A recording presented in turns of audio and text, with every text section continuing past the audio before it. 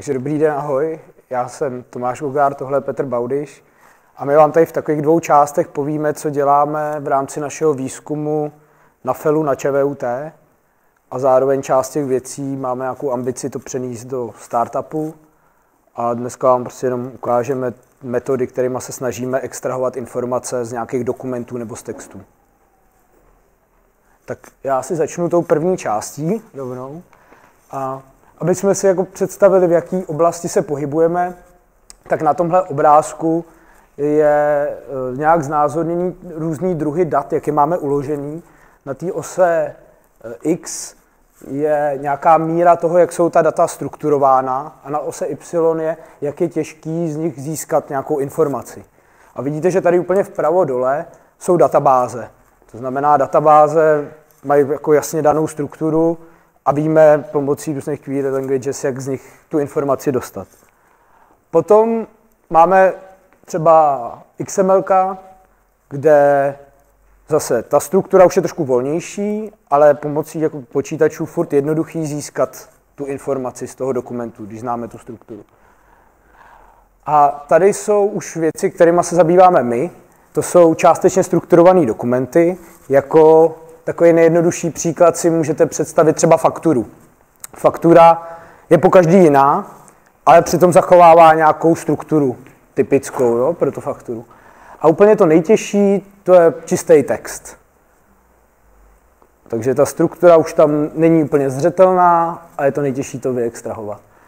A ten dnešní, ta dnešní prezentace je o tom, že já se zabývám toho, jak získat informace z těch částečně strukturovaných dokumentů a Petr ten se zaměřuje na ten čistý text. Já to dělám všechno nad datama z webu a tak je dobrý si říct, jak se to dneska běžně dělá.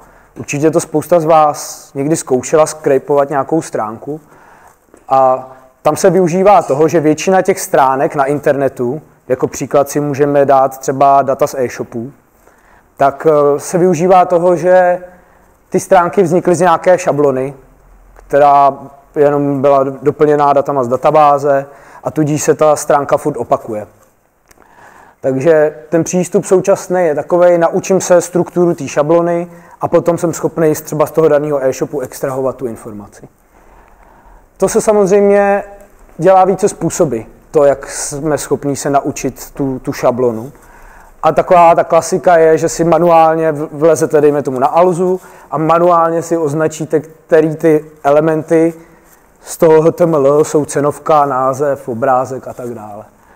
Tenhle ten problém, nebo tahle ten přístup má velký problém v tom, že to neškáluje. Ve chvíli, kdy chcete tisíce e-shopů, ty e-shopy měnějí strukturu poměrně často, tak eh, potřebujete docela dost lidí, kteří pořád anotují a přeučují ty, ty šablony.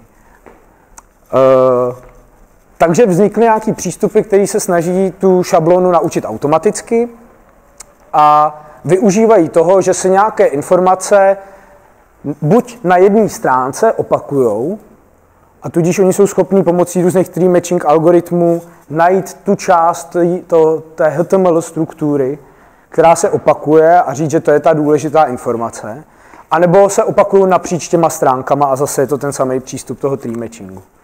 Ale z mýho pohledu, jako výzkumníka, je to jenom hacking.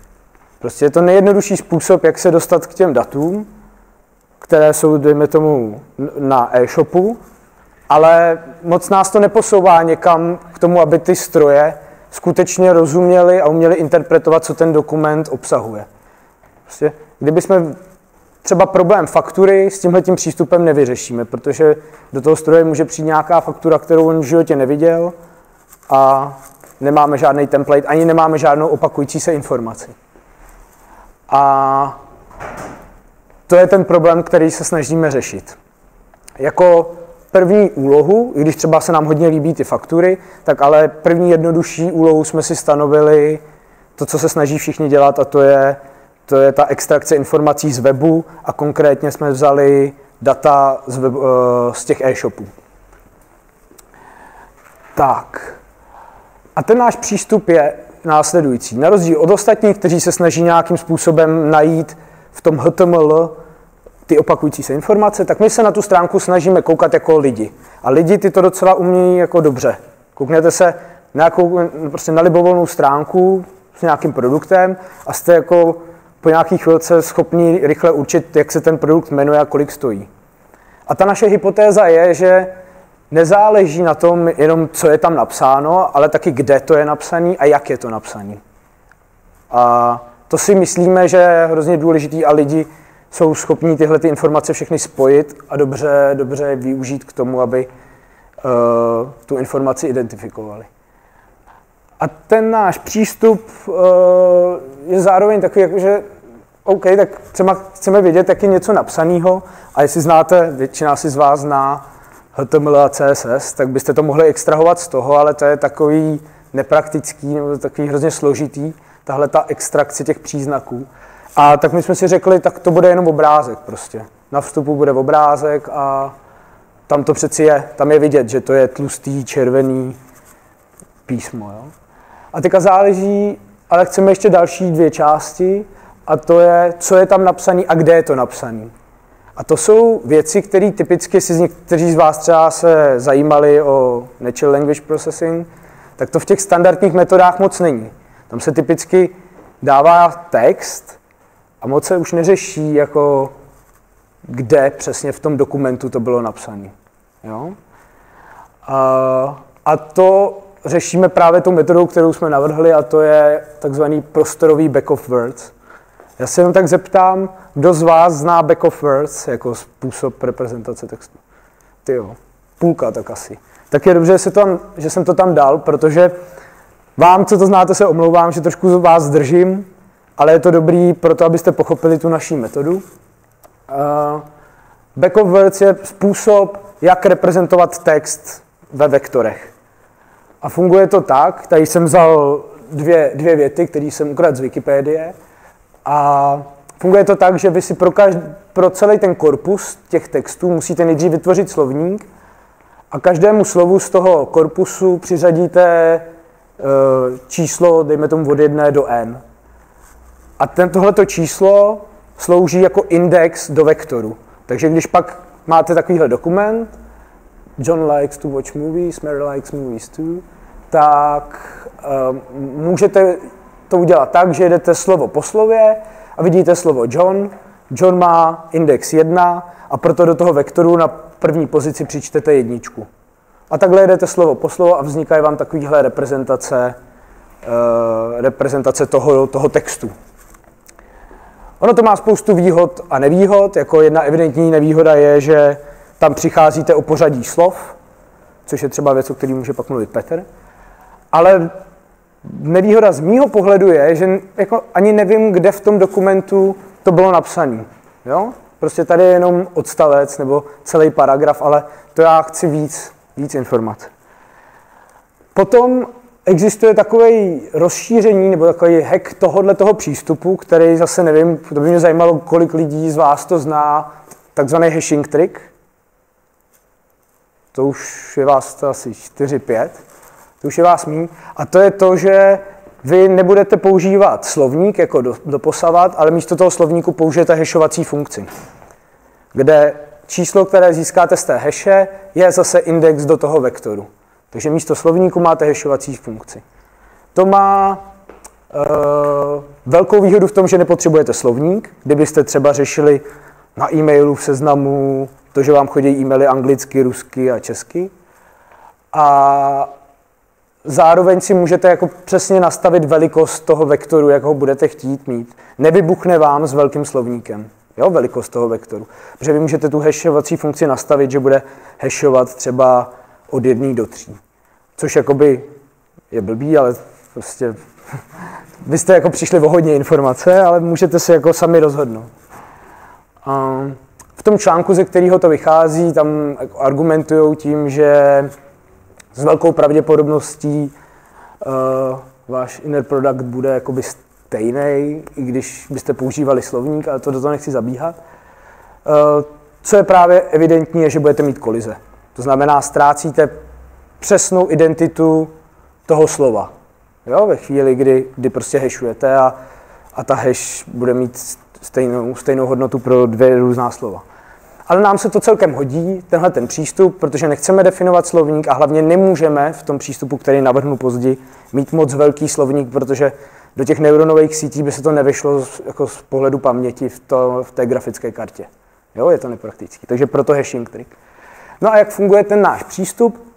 My máme webovou stránku, vyinterpretovanou, a my nechceme všechen ten text spojit do jednoho velkého odstavce, tak jak se to dělá klasicky v NLP, ale využíváme té DOM struktury, že v té DOM struktury, jestli to znáte asi, jo, jsou takzvané text elementy a my, když tu stránku interpretujeme v tom WebKitu, tak se můžeme zeptat, eh, kde ten text box jakoby ležel na té stránce, jo, přímo v pixelech. A zároveň známe ten textový obsah toho elementu. To znamená, my k tomu nebudeme přistupovat jako jeden velký kus textu, ale máme ty celý ten text té stránky rozdělený do těch textboxů už jakoby přímo z toho HTML a toho využíváme. Tady je takový příklad, že máte tady tři textboxy. Uh, jeden obsahuje slovo ABC, tenhle obsahuje D, E a slovo FG a tenhle obsahuje dvě slova FG, FG. A vidíte, že víme přesně, kde se ten, kde se ten textbox jako na té stránce nacházel. Jo? Co je pro nás důležitý, protože tyhle, ty, tyhle ty souřadnice jsou všechny v pixelech. Protože ten WebKit je ten, kdo to jakoby rendruje tu stránku, my to děláme během toho renderování. To znamená, jasně, obrázek se nám hodí v pixelech, ale jinak prostě ta informace by byla hrozně moc jemná a bylo by to zase moc všechno velký ty výslední matice. Proto my tu stránku eh, rozdělíme do takové mřížky a v našem příkladě ta jedna buňka má velikost 8x8 pixelů. To znamená, že to tak trošku jako komprimujeme. No a jak to funguje? Na rozdíl od toho hashing triku, co jsem vám ukazoval, co je jednotlivá slova uh, kódoval do vektoru, my to kódujeme do matic, což ve výsledku vypadá nějak takhle. Slovo ABC dostalo nějakou hash a na index, ten index říká, která matice to bude, ne teďka který, která pozice ve vektoru, ale která matice, teď jsem to přepl, která, která matice to bude. A na ty pozice, kde se ten text node nacházel, zapíšeme jedničky.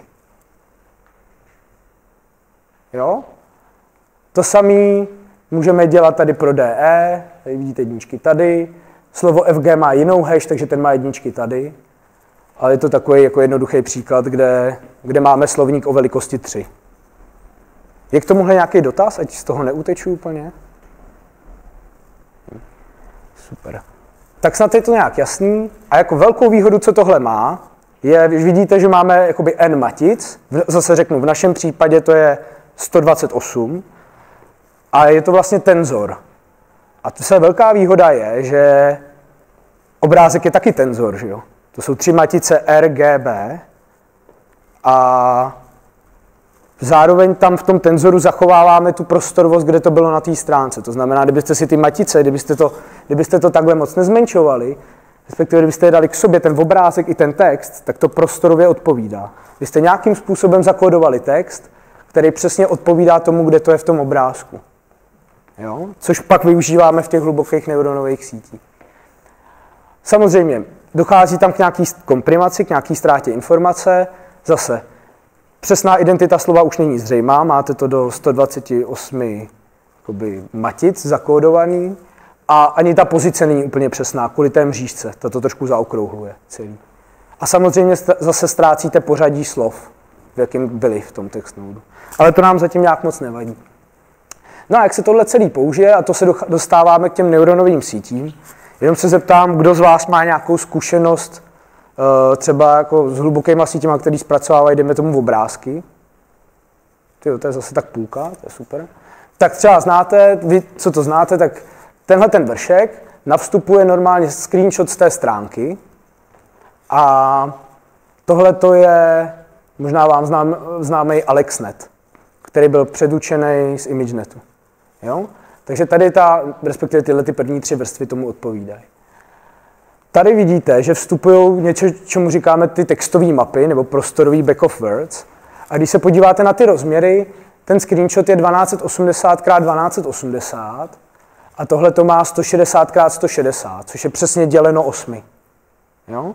A vidíte, že tady byly, by jsou tři, jakoby tři, tři kanály RGB a tady je 128. Díky tomu, díky tomu max poolingu, který v těch konvolučních sítích se používá, o tom jako nemůžu moc jako se zdržovat a mluvit, tak dochází k nějakému zmenšení a ta architektura je nastavená tak, že se to nazmenšuje přesně do té stejné velikosti.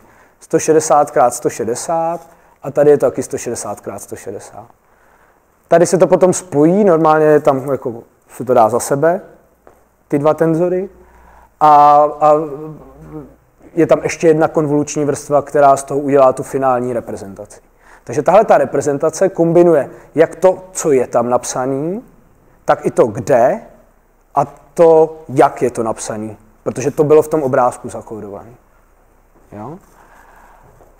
Co je typický pro ty konvoluční sítě, že při nějakém tom finálním rozhodování, při, tom finálním, při té finální klasifikaci, potřebujete předem danou velikost vektoru na vstupu.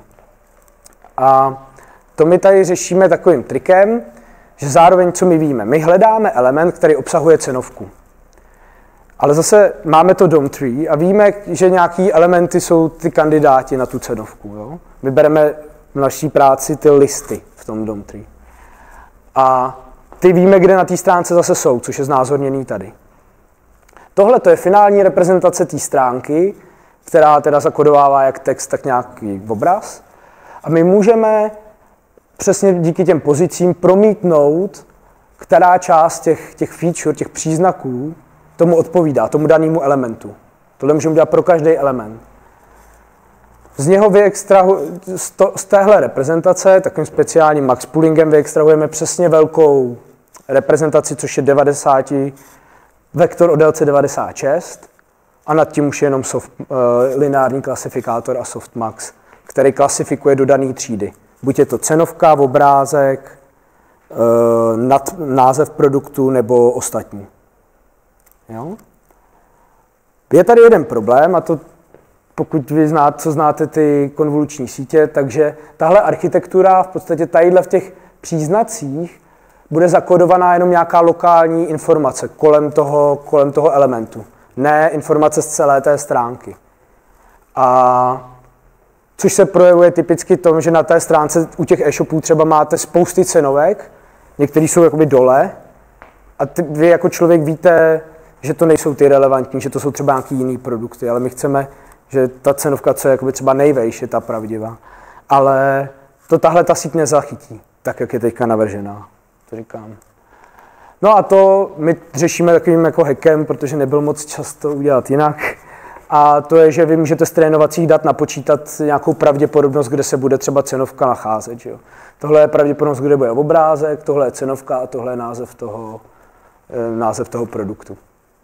A celý ten systém ve výsledku kombinuje obojí. To znamená, vy dostáváte pravděpodobnost třeba, že to je cenovka, eh, dáno ten, ten okolní kontext té cenovky a potom máte pravděpodobnost toho, že to je cenovka dáno jako její přesná pozice.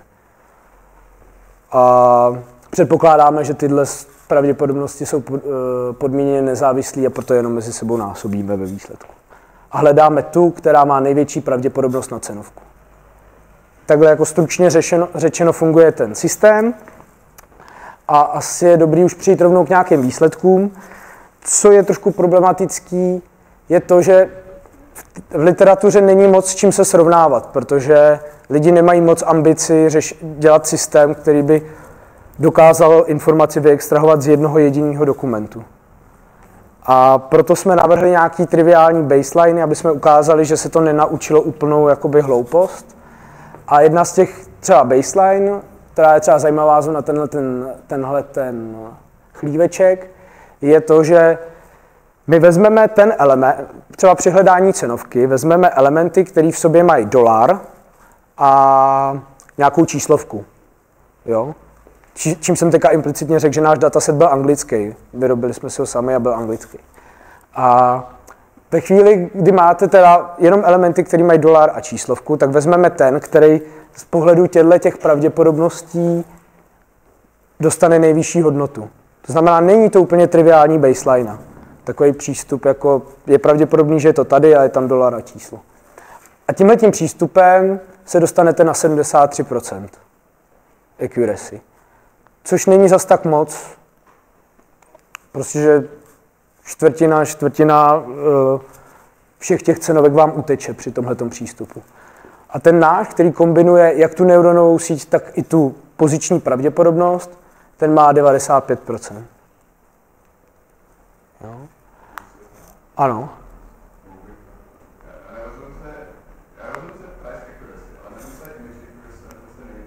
Jo, to jsem, co omlouvám, jsem to, protože já se snažím detekovat obrázek produktu, cenovku toho produktu finální a jeho název. Takže pro každý ten, uh, pro každý ten druh té informace mám zvlášť naměřený accuracy.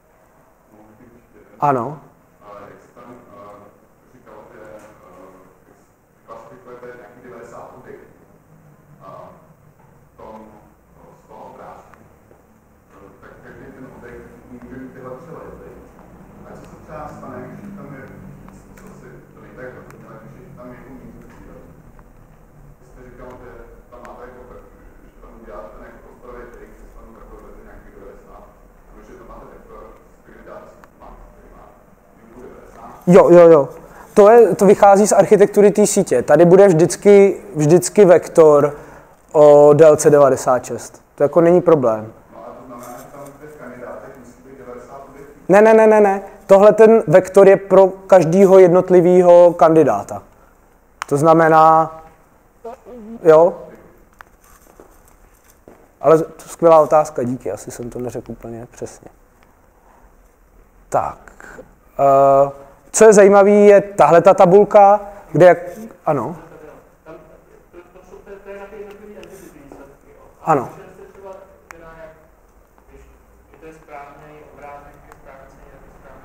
To je vždycky na jedné stránce. Takže je. Je to úplně jakoby ta data, on ten dataset není úplně čistý, abych se přiznal, protože jsme ho dělali sami, dělali jsme ho těma standardníma metodama, a oni nejsou úplně jako stoprocentní a my nemáme zase takový rozpočet, aby jsme to celý kontrolovali. A co je zajímavé, je, když vezmete jenom třeba ty texty, vypnete ten obrázek, tak jste úplně někde jinde. Samozřejmě u, u toho, že nerozpoznáte hlavní obrázek, to je logický, ale, ale třeba u cenovky jste zase na 77%. Jo? Ale takže i, ta, i, ta, i to, jak je ta cenovka napsaná, hraje velkou roli. A ta kombinace vychází nejlíp. Tady je pár ukázek, co to jakoby zmákne a vidíte, že třeba když ty cenovky jsou stejně napsané, tak to pozná tu nepřeškrtnutou. Jo? Vidíte, že prostě v těch, těch dataset, a to je proč ten, ta, ta baseline, na kterou jsem vám říkal, moc dobře nefunguje, protože těch cenovek na těch e-shopech je strašně moc. Zdaleka tam není jenom jedna, tak jak byste čekali. Jsou ty e-shopy, kteří to fakt umějí a dají tam tu jednu cenovku, ale když se pak kouknete do toho datasetu, tak to tak jednoduchý není. Možná jste si všimli, že u, tý, u toho názvu je jakoby mnohem nižší ta přesnost. A to je, když jsem to nějak analyzoval, tak to je trošku způsobený tím, jak vznikl ten dataset. A je to tím, že některé e-shopy tu ten název toho produktu nekódují do jednoho jediného elementu, ale do více elementů. Že rozdělí název firmy a toho modelu od sebe. A ta síť, tím jak nezná semantiku věcí, tak vybere jenom jeden, tak jak je to navrhnutý, a vybere zrovna ten název uh, té firmy. Ale v tom datasetu je to jako špatně. Takže tam, tam ta accuracy klesá kvůli tomuhle. Jak, kam to musíme ještě posunout do budoucna, tak uh, moc rád bych vyřešil, že bych se zbavil té globální pozice, že bych chtěl, aby to všechno řešila ta síť.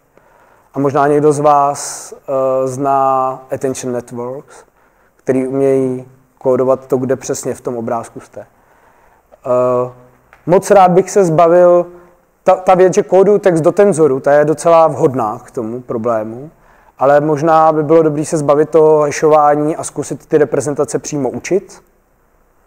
A samozřejmě by mě to zajímalo tenhle ten přístup na jiný úlohy, jako je třeba klasifikace těch stránek, segmentace a tak dále. Je tam spoustu praktických problémů, proč se to dneska nedá použít v praxi a třeba jeden z nich takový hezký je pop-up Windows. Protože vám ta stránka tam prostě hodí pop-up a vy máte zakrytý ty informace. Jo? Takže je to skoro o tom udělat detektor, který půjde a zavře to, tu stránku. Já třeba mačkal Escape, ale to nefunguje vždycky. Jako programově jsem vždycky zmáčkal Escape na každý stránce. Ale to zavře jenom nějaký ty okna. Jo? Jinak je to na, na GitHubu, zatím tam chybí ten dataset, ten tam nějak dodám, až budu mít k dispozici nějaký FTP server. Protože není úplně malý. A já nevím, jestli do otázky teďka, nebo až na konci po Petrovi. Až na konci, protože jinak to žádný čas. Tak jo, takže asi nemáte žádné otázky teďka.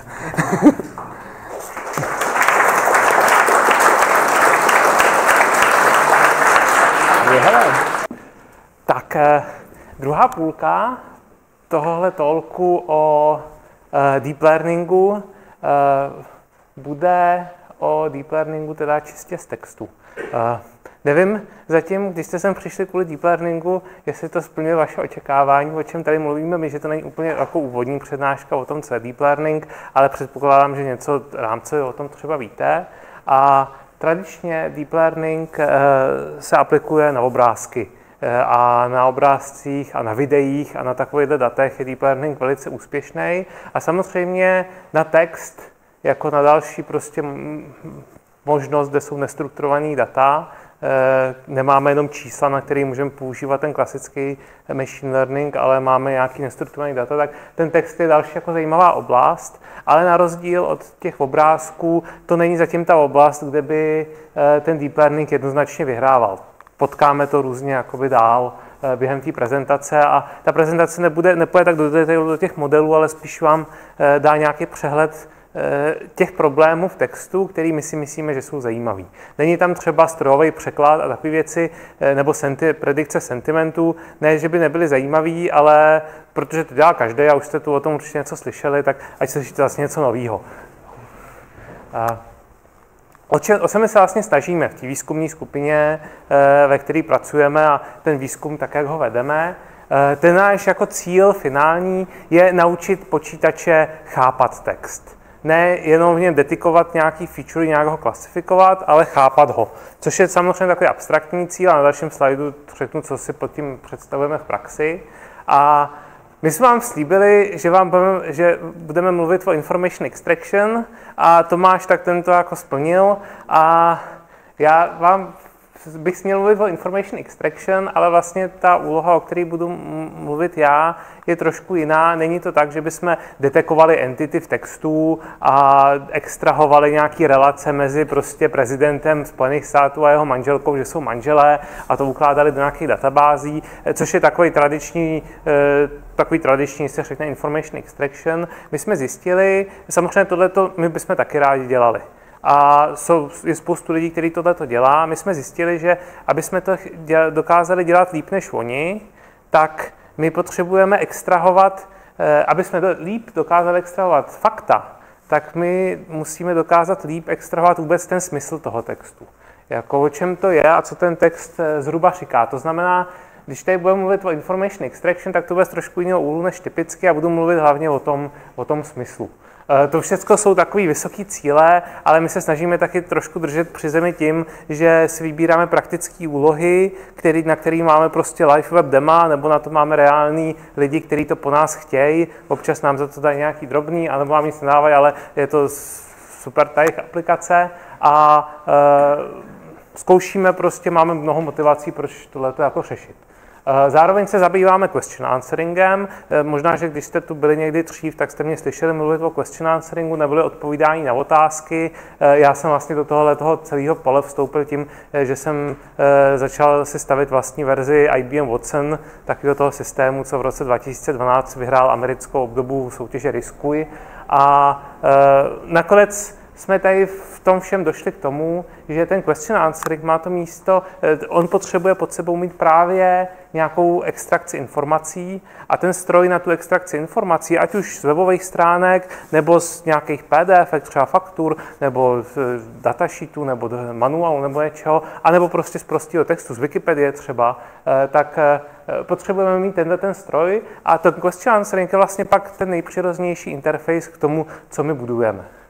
No ale protože ten question answering, já se o něm zmíním, ale když se na to podíváte střízlivě, tak nefunguje to moc dobře. Takže uh, se snažíme řešit jiný konkrétnější úlohy a ten společný jmenovatel je ten, uh, že se snažíme řešit takové úlohy, které vyžadují nějaký stupeň porozumění tomu textu. Což strojový překlad určitě je, ale spousta těch úloh, kterými potkáváme v praxi, se dá pojmout eh, jako e, skórování nějakých párů věd. Máte dvojici věd a potřebujete z ní vyrobit nějaké číslo. Za chvilku vám ukážu, e, co to může vypadat v praxi, ale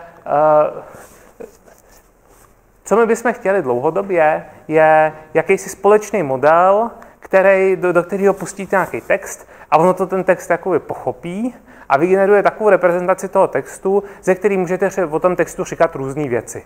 Můžete například o dvou větách říkat, jestli jsou o tom samým, nebo jestli říkají to samý, nebo jestli jedna vyplývá z druhý, nebo jedna jestli odpovídá na druhou, nebo uh, jestli jsou v tom samém jazyce a tak dále. Ano? Slova, slova. Uh, taky se o tom můžu zmínit, zmínit za chviličku. Uh,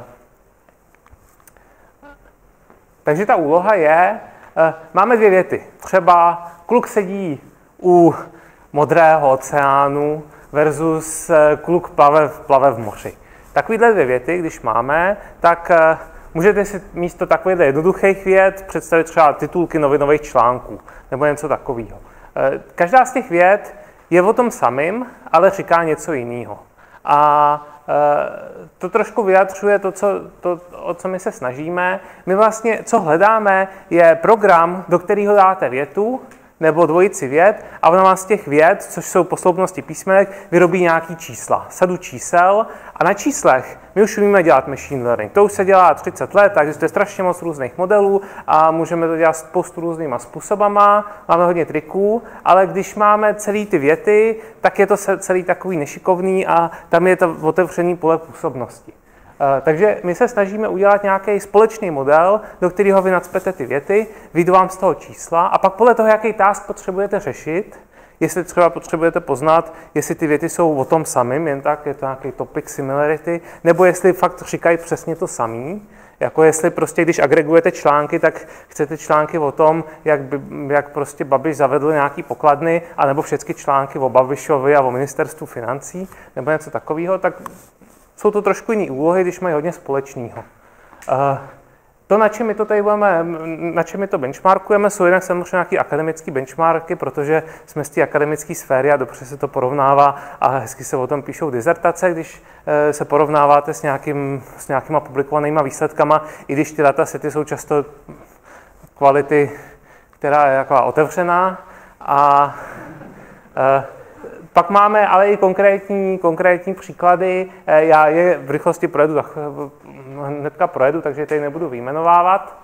Uh, jeden takový příklad, který teďka řešíme, a doufal jsem, že vám už ukážu live demo, ale bohužel se mi to nějak zamotalo v noci a celý to popadalo uh, příště. Uh, uh, frequently asked questions. Na spoustě webů máte frequently asked questions. O tom, jestli prostě, jakým způsobem máte užívat nějaké léky, nebo jestli můžete do této na tu webovou stránku uh, uploadovat obrázky tyhle nebo tamhle ty. A tohle je třeba příklad uh, uh, frequently asked questions e-clubu. Uh, skrytá reklama. eClub je taková eh, letní akce pro studenty. Pokud jste studentem a zaujímá vás eh, deep learning a přijde vám tohle zajímavé, o čem tady mluvíte, tak můžete v létě k nám přijít dělat brigády a dělat přesně na těch věcech, které vám tady na těch slidech ukazujeme. Vygooglete si eClub.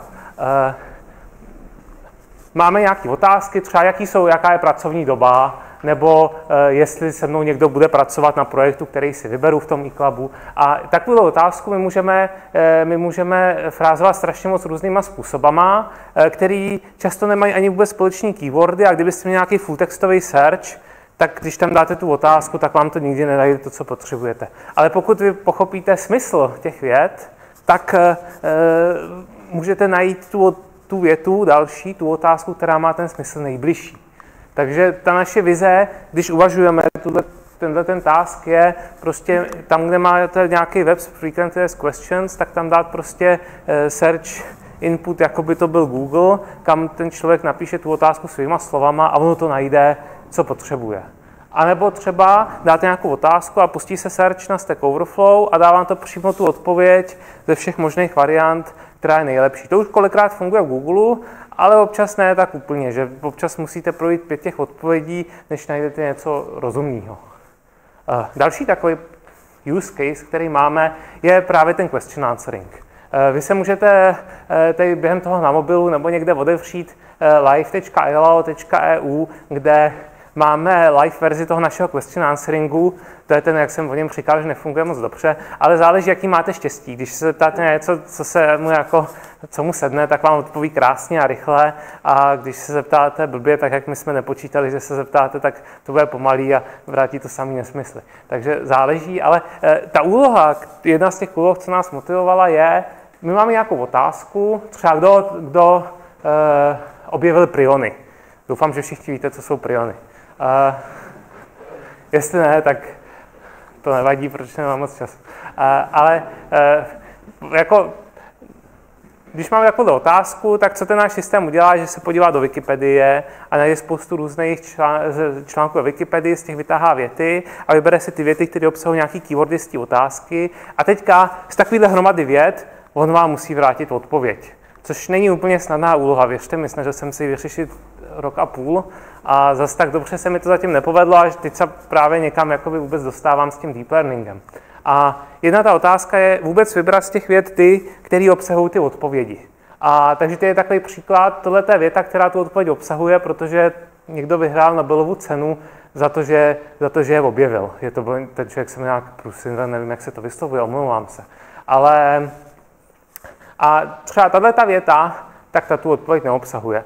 Když se trošku tady jako zamyslíte, a ta, jak byste tohle dělali, kdybyste měli psát nějaký gramatický pravidla, tak je to docela těžký, protože to není simple statement prisoner discovered prions.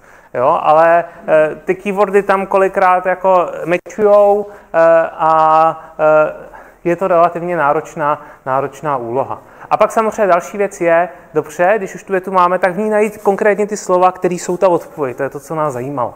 To je pro nás ještě trošku otevřený problém.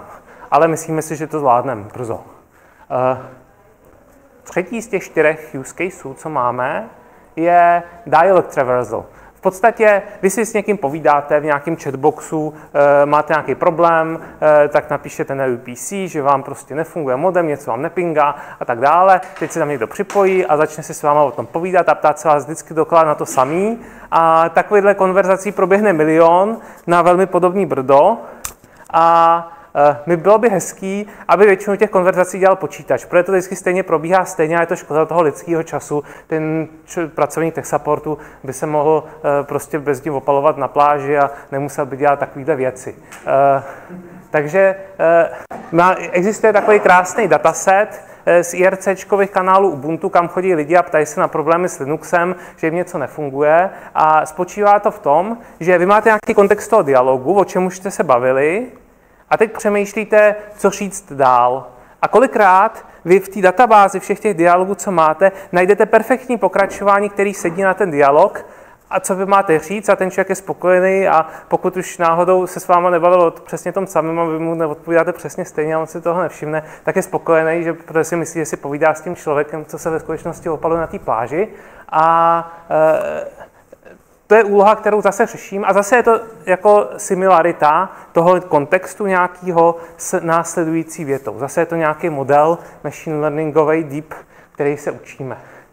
A poslední takový problém k zamyšlení vašemu, eh, je to zase reálná aplikace, na kterou prostě máme reální lidi, kteří tohleto řešejí, je situace, kdy máme takzvaný prediction market.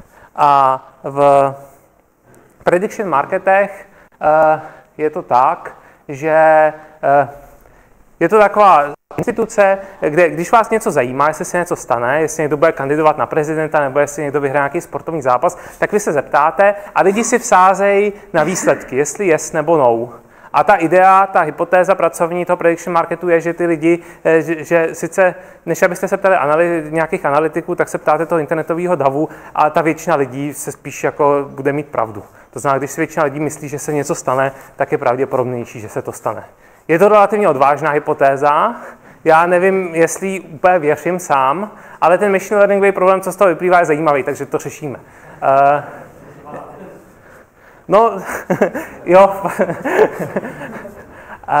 ten prediction market, pro který to řešíme, Augur. Pokud jste už někdy byli v paralelním polisu a zajímáte se o věci kolem bitcoinu a takové věci, tak si vygooglete Augur, mohlo by to, vám to být sympatický, je to na blockchainu, používá to Ether a, a tak dále. Eh, a eh, jde o to, dobře, vy máte spoustu otázek, ty události se postupně stávají, ale teď někdo musí přijít a rozhodnout, komu teda vyplatit tu sázku, jestli těm, co řekli yes nebo no. To znamená, jak to dopadlo. A to je nuda a nikdo to nechce dělat. Eh, takže jak to vyřešíme? Napíšeme si program, který skenuje všechny noviny na světě a sleduje různý API a rozhoduje to automaticky. A takže Teď jsem to popsal trošku megalomansky, samozřejmě to nedělám úplně takhle. Máme prostě deset nějakých novinových titulů, eh, ze kterých máme nějaký korpus článků a máme nějaké otázky z nějakého rozmezí časového a snažíme se rozhodovat ty otázky na základě toho, co najdeme v těch novinách. Potíž je, že na to nemáme velký rozpočet a ten dataset je malý a tak dále. A my vlastně máme jenom informaci o tom, jaká je ta správná odpověď. Ale nemáme třeba informaci o těch jednotlivých kouscích těch novinových článků, jestli jsou vůbec relevantní, když je najdeme, protože spoustu těch článků relevantních není. Tady máte otázku o Stanley Cupu, jestli ho vyhrál, to je nějaký sportovní, nevím na nic, co to je za sport, ale to je jedno. Uh, hokej, není to hokej?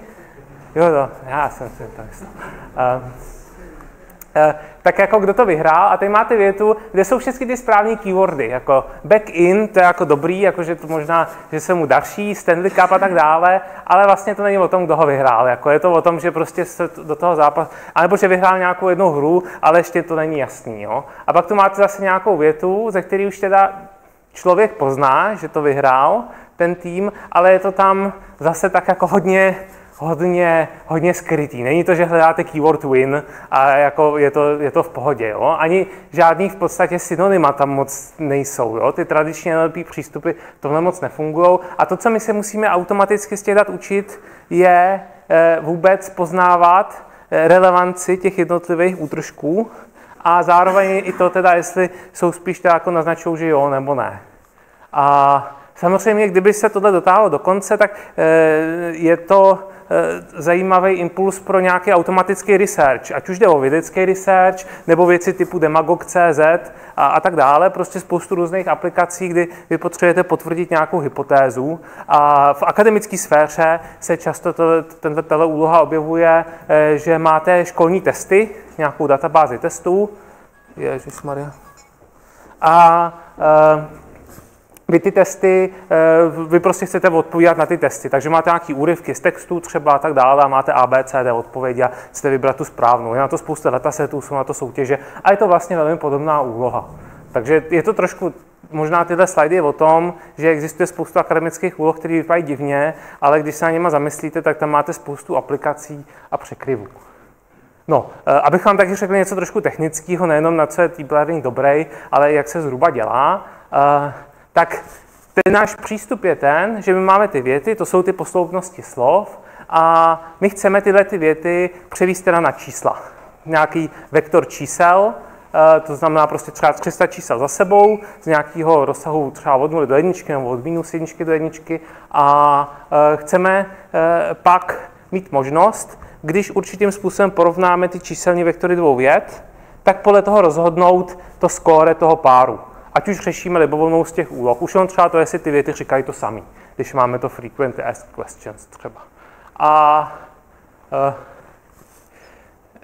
Co nejdřív potřebujeme, co předpokládáme, že umíme, je vůbec slova převíst na nějaký vektory čísel. Což pokud se trošku zajímáte od NLP, tak by vám mohlo něco říkat word tůvek nebo glav, eh, což, je právě, jsou, met, což jsou právě metody, jak převíst slova na hromady čísel, eh, který nějakým způsobem dobře vyjadřují tyhle jakoby vztahy v lineárních prostorech, ve kterých jsou tyhle ty čísla, dobře, dobře reflektují semantické vztahy mezi těma těma slovama. Já nebudu zabíhat do detailu, protože nemám tolik času, eh, ale eh, jedna teda poznámka je, že to děláme všechno na těch slovech a v dnešní době, pokud zase sledujete nejnovější články v oblasti, tak eh, si lidi často hrajou s tím, že, ne, ne, že na tu větu nebo na ten text nekoukají po slovech, ale prostě po písmenkách a jdou písmenko za písmenkem a je to něco, co my neděláme, prostě protože jsme zatím neměli často vyzkoušet. A druhá věc je, že je to mnohem náročnější na,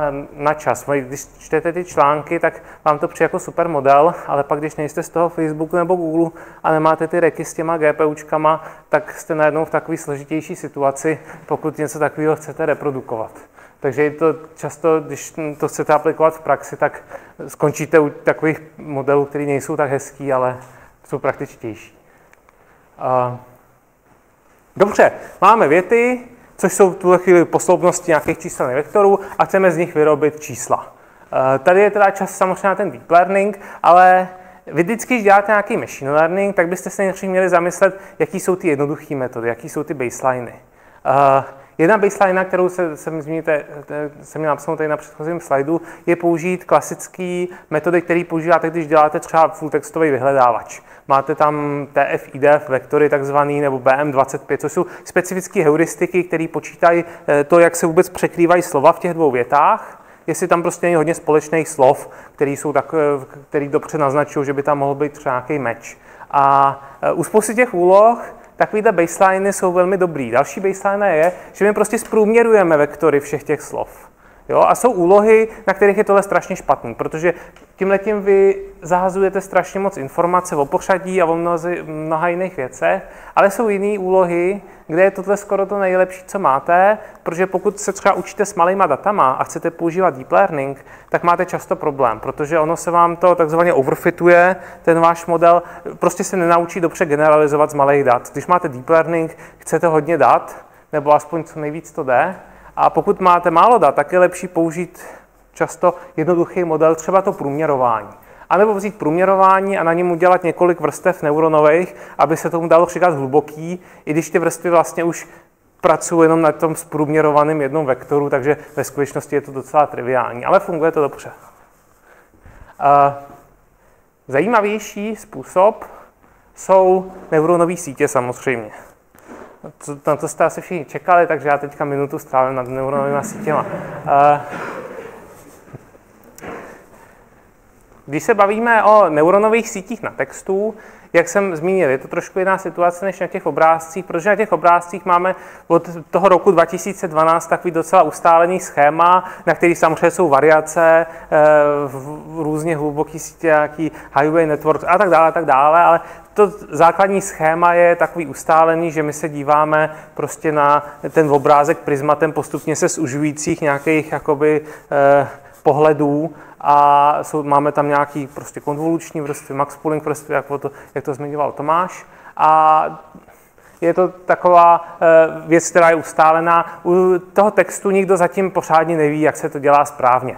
Stále je to ve fázi experimentování a hodně to záleží třeba právě na tom, kolik máte dat. Když máte málo dat, používáte taky konvoluční síť, ale ta konvoluční síť eh, je taková, že vy vlastně berete vždycky jakoby vektory těch jednotlivých slov a pak máte filtry, které udělají konvoluci nad několika e, slovama, co jdou po sobě a spočítají z nich nějaký jedno číslo. Jo, pak se trošičku posunou, zase udělají tu konvoluci, spočítají další číslo a když tohle takhle projedete celou větu, tak vy uděláte max pooling jako na obrázcích, ale místo, abyste ten max pooling vždycky dělali třeba po dvou nebo po třech, prostě po nějakém fixním okýnku, abyste si jenom zúžili ten view, Eh, ale stále bylo jakoby jasný, prostě, který slova šly jak za sebou, tak vy uděláte max pooling přes celou tu větu. To je ten standardní model. To znamená, pro každý z těch filtrů vy si berete maximum přes celou tu větu a tím nějakým způsobem se snažíte získat informace z celé té věty, napříč tou větou, co ta věta asi říká, jaký jsou ty důležité body v té větě. Uh,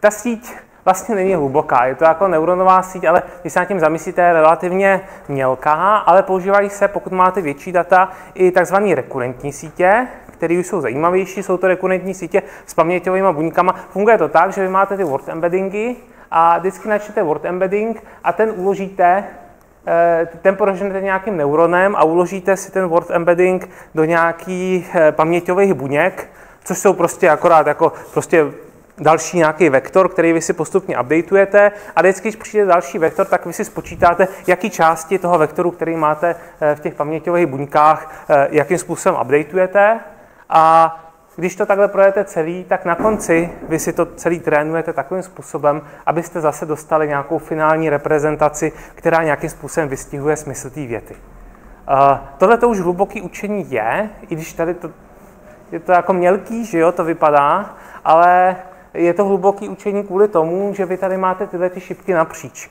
To znamená, vy máte nějakou sekvenci slov, můžete mít větu dlouhou třeba 60 slov a v tu chvíli, když máte rekurentní vrstvy, kdy zpracováváte nějaký časový vzorky, v tomhle případě ty slova, tak vy se učíte napříč 60 vrstev efektivně protože přes tolik vrstev vy backpropagujete. To znamená, často tyhle ty modely na první pohled vypadá, že jsou takový mělký, že to jsou klasické neuronové sítě, ale vlastně to jsou často jedny z těch nejhlubších modelů vůbec.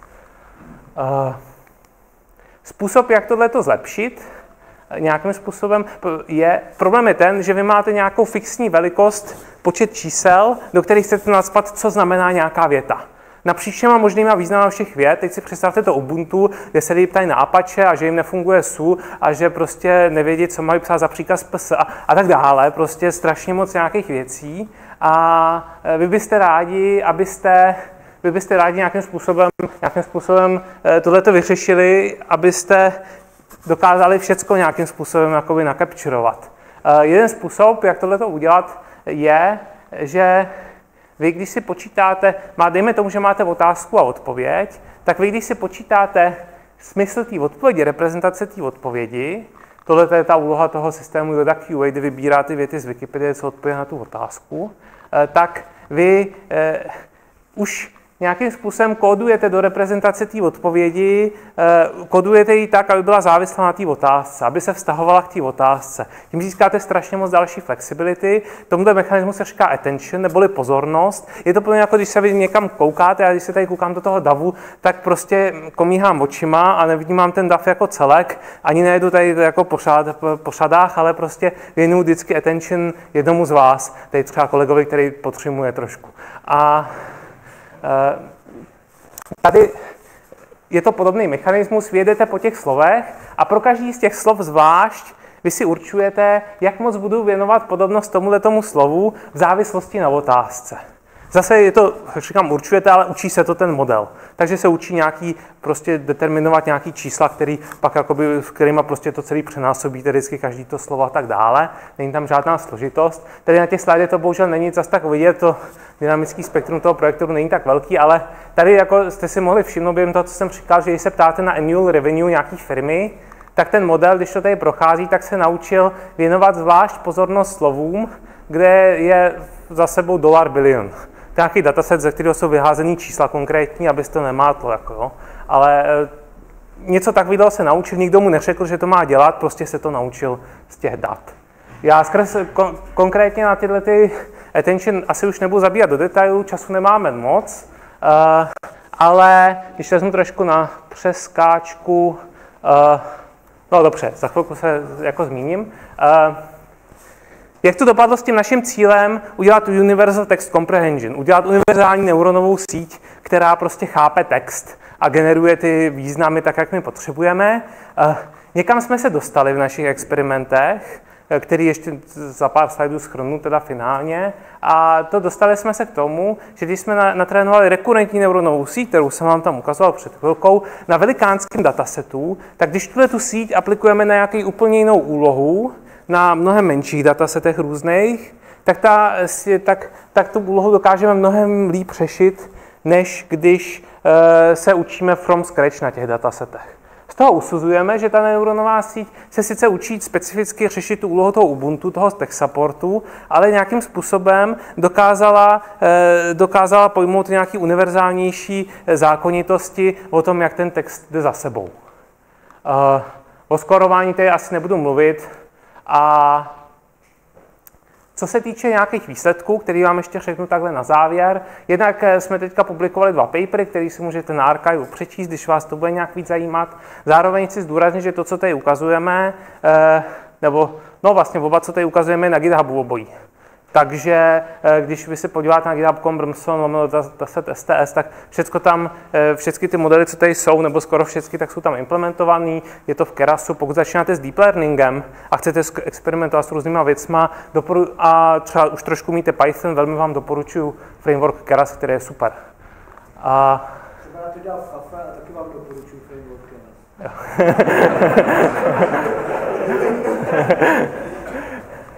Jasně. Uh, jenom pár zajímavých výsledků třeba na tom Ubuntu. Je to nějaký akademický dataset vlastně, který ale má hodně velký praktický aplikace, protože je prostě fakt z real world. A na tomhle datasetu ty naše modely, které tady ukazují, tak jsou state of art. Uh, konkurencí nám je jednak ty lidi, co to zkoušeli poprvé a pak tohle to dělal Facebook a Facebook my jsme tady jako porazili, rozmázli a uh, takže to je, bohužel jsem se o tom dozvěděl den potom, co jsem submitl ten paper, takže jsem to tam nemohl napsat, že jsme lepší než Facebook, ale, ale prostě to jsou nějaké prostě metriky, to je ta metrika. Když mám 10 kandidátů na odpovědi při nějakém dialogovém kontextu, tak v kolika procentech se trefím na ten správný eh, což je relativně těžká úloha, protože ten dataset vypadá jako docela hrozně a je tam kolikrát prostě odpověď prostě no, nebo OK. OK, fine, goodbye. Takže není to, jo, a pak nějaký technický žargon jako do toho zamíchaný, takže eh, občas člověk ani sám to nedokáže rozhodnout. Eh, co se týče Yoda QA, eh, tak vyzkoušejte si to prostě, to je asi nejlepší. Nemám tady moc času to rozvádět, když za námi přijde další meetup, takže pokud vás zajímá náš question answering systém, chcete si s ním pohrát, tak na Yellow EU lomno QA a samozřejmě tam tohle taky používáme, aplikujeme, testujeme a to se tu sam akademický eh, benchmarky, kde jsme skoro state of art, nebo možná. K tomu taková poznámka, když máme deep learning a máme tam machine learning, eh, tak když vy tu síť vezmete a natrénujete 16krát, tak vám vždycky vyjde jiný výsledek.